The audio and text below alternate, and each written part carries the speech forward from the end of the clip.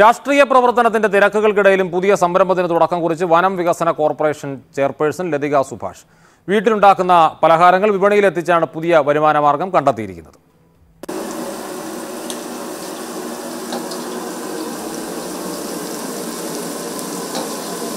കുറച്ചു കാലമായി ലതിക സുഭാഷിന്റെ കുമാരനെല്ലൂരിലെ വീട്ടിലെ കാഴ്ച ഇങ്ങനെയാണ്.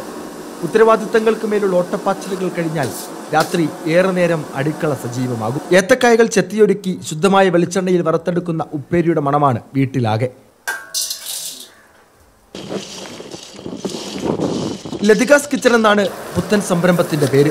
തുടക്കം ഏത്തക്കായ ഉപ്പേരിയിൽ നിന്ന്. ഓണക്കാലത്ത് ഒരുപാട് പാക്കറ്റുകളിൽ ഉപ്പേരി വിറ്റു. ഒപ്പം ശർക്കര വരട്ടിയും. പാചകം ഹോസ്പിറ്റാലിറ്റിയൊക്കെ എനിക്ക് എന്നും ഇഷ്ടമുള്ളൊരു ജോലിയാണ്. എന്റെ അമ്മ നന്നായിട്ട് പാചകം ചെയ്യുമായിരുന്നു. അതിന്റെ ഒരുപാട് സൗഭാഗ്യങ്ങൾ അനുഭവിച്ചു. അതുകൊണ്ട് അമ്മ മരണപ്പെട്ട് കഴിഞ്ഞ് ഞാനിതെല്ലാം അത്യാവശ്യം അച്ചാറുകൾ ഉണ്ടാക്കും ഇതുപോലെ എന്തെങ്കിലുമൊക്കെ ഉപ്പേരിയൊക്കെ ഉണ്ടാക്കും. കടകളിൽ എത്തിച്ച് വിൽക്കുന്നില്ല. ആവശ്യക്കാർക്ക് ആവശ്യാനുസരണം എത്തിച്ചു നൽകും. കേരളത്തിന് പുറത്തേക്കും വിദേശത്തേക്കും കൊറിയർ വഴി അയക്കാനും ആലോചനയുണ്ട്. എന്റെ പ്രവർത്തനം ഞാൻ എം എൽ എ അല്ല എം പി അല്ല എനിക്ക് പ്രോട്ടോക്കോൾ ഇല്ല. അപ്പം എനിക്ക് എന്റെ യാത്ര ചെലവിനുമൊക്കെ ആകുന്ന ഭീമമായ ഒരു തുക. ഒരു പുരുഷനായിട്ടുള്ള പൊതുപ്രവർത്തകനാകുന്ന പോലെയല്ല ഒരു സ്ത്രീക്കാകുന്നത്. അറ്റ്ലീസ്റ്റ് ഒരു കൺവീനിയൻസ് ഉറപ്പാക്കണം.